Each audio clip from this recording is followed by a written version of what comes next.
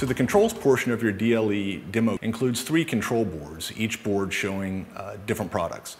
So the board that you're looking at right now on the screen is a, uh, contains the occupancy sensors and, and dimming photocells.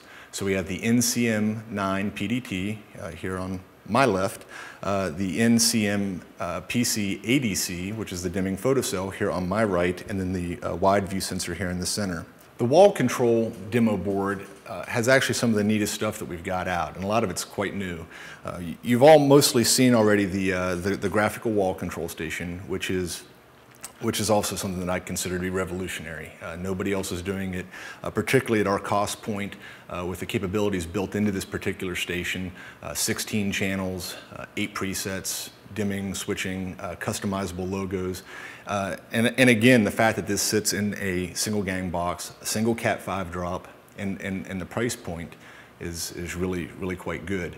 The other things that we're showing here are the new nPOD M, which are the mechanical push button styles uh, of switches, of nLight switches. These differ from the, the, the original or the, the first generation uh, switch station, which was the nPOD, which is a capacitive touch device. So this has a more traditional uh, look for a uh, low voltage control system. Uh, you have different styles. You can do a two button, a two button with raise and lower, which is what we have here, single channel of dimming.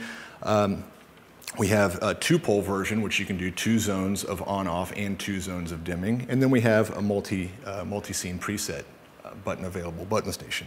The third and final demo board that I'm going to talk to you about uh, contains our, our backbone network devices. That includes the, uh, the gateway as well as the nBridge. And both of these devices are key when you're doing a networked system. Uh, this may be if you're doing a full building management system uh, where you want to monitor, control, program from, from, from, a remote location. And all that does go through uh, via IP. And again, we're just, we're helping out this process, trying to take a complex system and make it more simple, uh, more user-friendly, and, and easier to install.